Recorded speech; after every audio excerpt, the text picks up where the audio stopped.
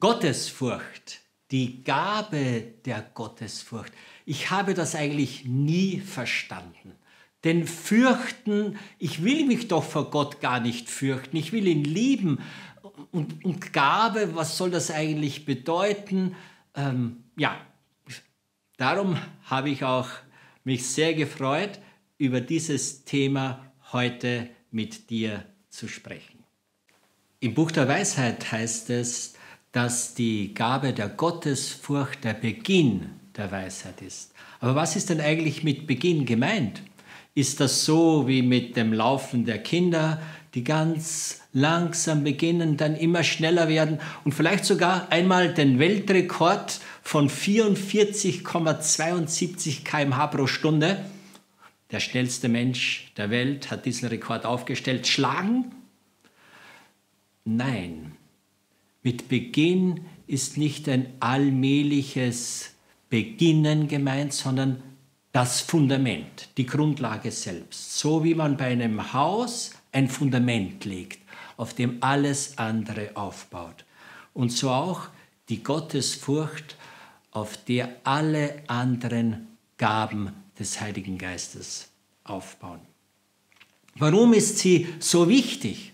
Sie ist die Online-Verbindung mit Gott.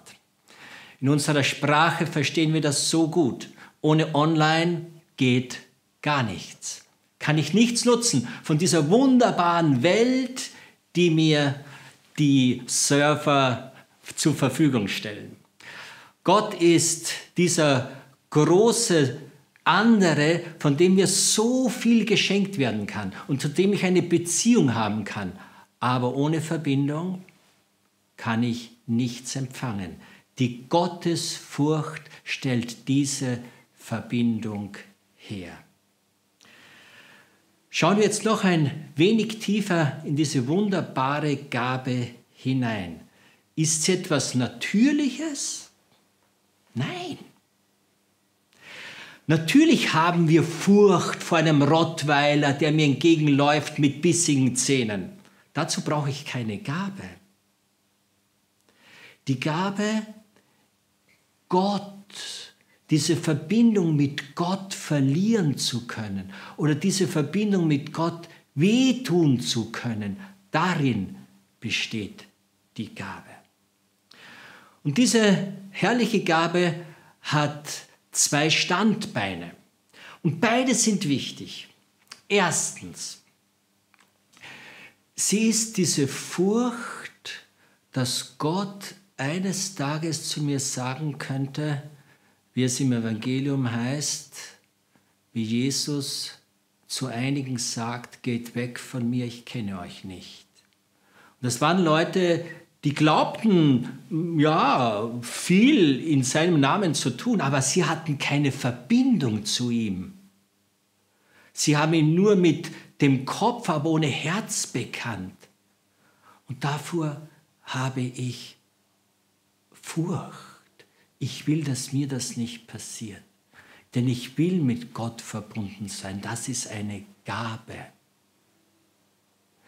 Und dann gibt es noch eine zweite Form, die viel tiefer gilt, die noch viel inniger ist und die diese Liebesbeziehung mit Gott im Innersten ausdrückt.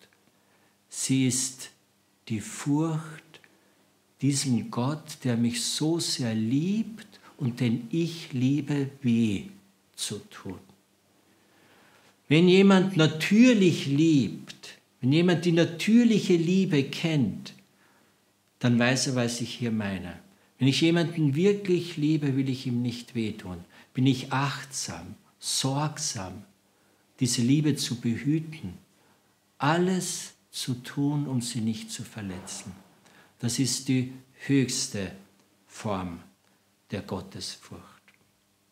Und sie ist dann eigentlich auch nicht mehr eine Furcht, wie wir dieses Wort natürlich verstehen, eine Ängstlichkeit, so von äh, ich bin ganz nervös die ganze Zeit, äh, besorgt. Nein, es ist ein Ausdruck der Liebe.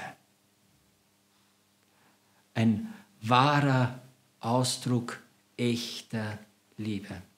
Und vielleicht wie niemand anderer hat das Johannes von Kreuz in einem seiner Gedichte gesagt, wo er schreibt, wenn es den Himmel nicht geben würde, würde ich dich trotzdem lieben. Wenn es die Hölle nicht geben würde, würde ich dich trotzdem fürchten, alle Ehrfurcht vor dir haben. Mit einem Bild möchte ich schließen, was die Wellen für einen Surfer sind, was der Wind für einen Paragleiter ist. Das sind die Gaben des Heiligen Geistes für einen Christen. Du kannst dich von diesen Gaben nur tragen lassen. Du kannst sie nicht machen, du kannst sie nicht produzieren, aber du darfst darum bitten. Ich lade dich ein, lade mich selber ein, lade euch alle ein, dass wir um die Gabe der Gottverbundenheit bitten. Das ist es, was uns die Gabe der Gottesfurcht schenken möchte. Euch viel Freude auf der Suche nach diesen Gaben. Komm, Heiliger